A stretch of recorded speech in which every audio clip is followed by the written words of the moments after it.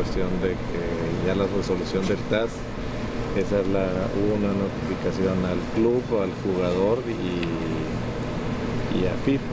Ahora estamos esperando este, qué es lo que va a decir FIFA al equipo de allá de Grecia, al jugador y a nosotros. La determinación que llegue a tomar el FIFA, esa es la que este, pues es la, cuál va a ser, no, sabemos cuál va a ser. Nosotros no somos este, los jueces, estamos esperando ahí el proceso, es un proceso legal como ya les han explicado y, y además estamos esperando ahora cuál la determinación de FIFA.